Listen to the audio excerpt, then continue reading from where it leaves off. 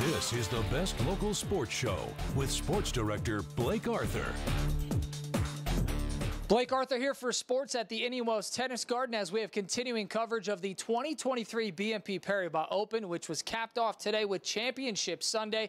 And what a Sunday it was. Two new winners here at Indian Wells, Elena Rybakina and Carlos Alcaraz. I had the chance to catch up with both of our champions after their matches.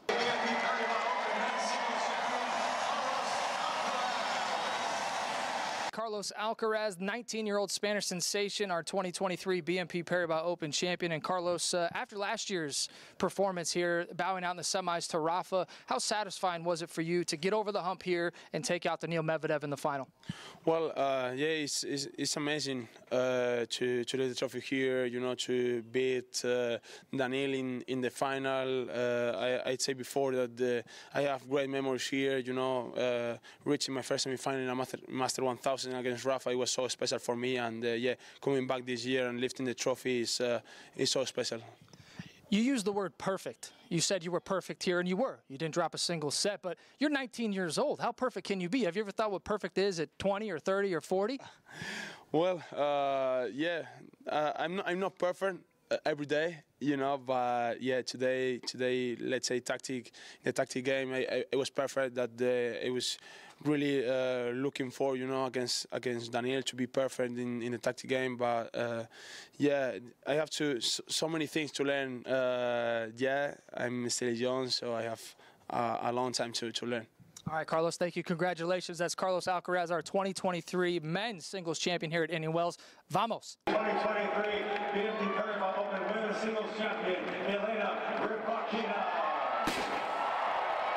Elena, First time winner here at Indian Wells. You get your revenge against Aryna Sabalenka from the 2023 Aussie Open. Just how sweet is it to win here at Tennis Paradise? Yeah, it's an uh, amazing atmosphere here and uh, it's really beautiful. So we enjoyed all two, uh, almost three weeks. So yeah, I'm super happy and also it was really tough battle against Aryna. First time in the official tournament I actually won. So it's a 1-4 now, but uh, yeah, I'm super happy. And you played really well. You knocked out the top two seeds in Iga and then here against Aryna. So how confident were you uh, coming into this last week here at Tennis Paradise in order to pull out the victory and your first ever Masters 1000 title?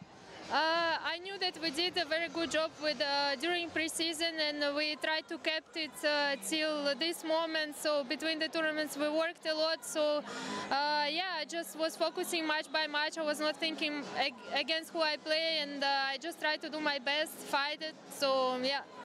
Congratulations to both of our champions. That's going to wrap up our coverage of the 2023 BNP Paribas Open. Until next year, 2024, here at Indian Wells, I'm Blake Arthur.